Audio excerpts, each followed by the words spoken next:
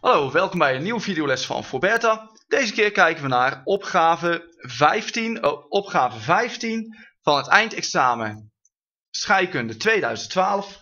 En de vraag is, geef de reactie tussen glucose en water, waarbij waterstof, koolstofdioxide en ethaanzuur ontstaan. Goed, dat uh, kunnen we vrij makkelijk uitwerken. Namelijk, sorry, hier stonden mijn aantekeningen van net nog op. Even weghalen. Namelijk, wat we hebben is C6H12O6, oftewel glucose. Dat moet reageren met, uh, wacht even, reageert met water?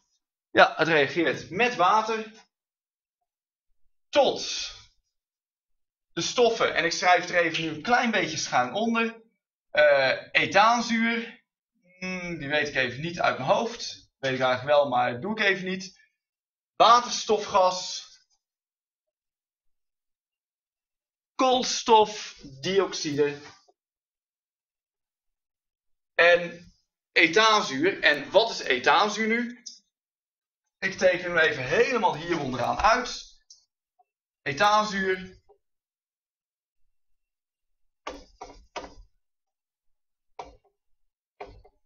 Deze geweldige stof en ik ga hem nu even opschrijven met de formule C2 H 1, 2, 3, 4 O 2. Dus plus C2 H 4 O 2. En nu moeten we een kloppend maken. Goed, bij het kloppend maken hebben we de stof, de waterstof, die we als laatste gaan doen. Uh, en we weten verder uit de opgave dat we per C6H12O6 twee keer een ethaanzuur krijgen. Dus nu kunnen we hem uh, makkelijk en snel gaan uitwerken. Namelijk, wat hebben we? We hebben hier twee keer een C2H4O2. Dus als eerste ga ik de koolstof kloppend maken. En als ik de koolstof kloppend maak, dan heb ik aan deze kant 6 koolstof staan. En aan deze kant heb ik 4 koolstof staan plus, nou, 6 is 2 plus 4. Dus ik heb twee keer een CO2 die ontstaat. De H2 heb ik als makkelijkste gemarkeerd, dus de H2 gaan we ook als laatste doen van het rijtje. En dan kan ik nu zeggen van, ik ga eerst maar eens de zuurstof kloppend maken. En als ik daarna ga kijken, dan heb ik hier voor de zuurstof twee keer een O2 aan deze kant. Uh, plus twee keer O2 hier en één keer O6 aan die kant.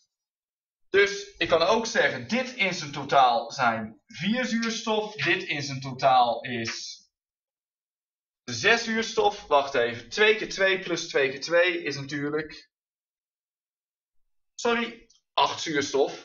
Dus ik heb 6 zuurstof, wat 8 zuurstof moet worden. Nou, dat kan ik oplossen door er hier twee zuurstof bij te toveren. En hebben we dus 2 H2O. En nu zijn we er al bijna. Nu hoeven we alleen nog maar de balans op te maken voor de waterstof. En voor de waterstof kunnen we zeggen, hier hebben we 12 haatjes staan. Hier hebben we 4H staan, 2 keer 2. Dus totaal hebben we 16 waterstof aan de linkerkant. En aan de rechterkant hebben we 2 keer 4, oftewel 8 waterstof. Plus niks. Um, even kijken, 2 keer 4 is 8.